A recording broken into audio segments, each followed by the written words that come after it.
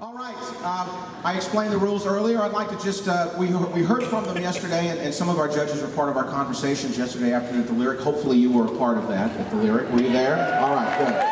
I'd just like to have them stand and wave to the crowd to prove that they're actually here in the building. If we could have the house lights or the spot on them right there.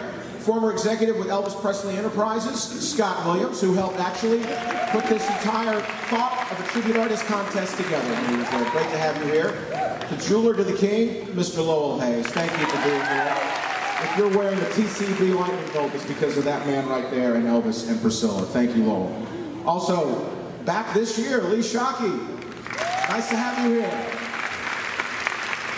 On the road for the Colonel and with Elvis, the advanced man, Charles Stone. And as you saw yesterday, also some really strange 1970s concert photos with security guards. From the movie Speedway, back again this year, and she was part of our Nashville Festival. We love her. Victoria Meyerink, thank you for being here.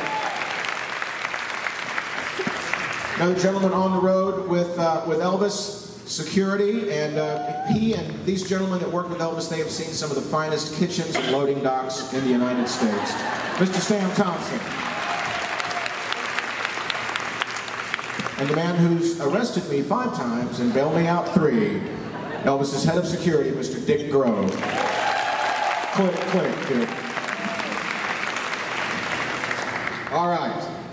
And Melissa and Louise and Linda. Nice to have you. All right. I see a microphone on the stage.